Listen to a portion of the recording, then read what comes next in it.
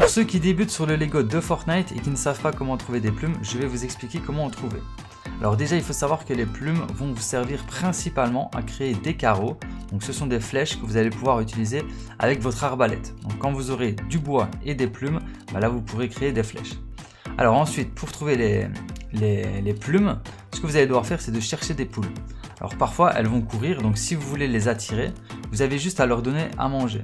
par exemple, regardez, je vais leur donner du lierre que vous obtenez euh, principalement en, détruisant des buissons ou en ramassant de la nourriture, par exemple des citrouilles. Là, vous allez obtenir du lierre. Et là, regardez, si je dépose un lierre par terre, donc je le lâche, obligatoirement la poule va être attirée.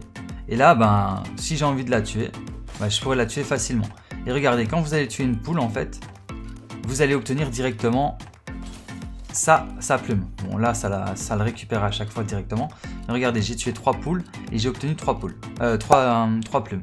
Donc voilà comment vous allez pouvoir obtenir des plumes sur le Lego de Fortnite et ainsi pouvoir créer des flèches pour votre arbalète.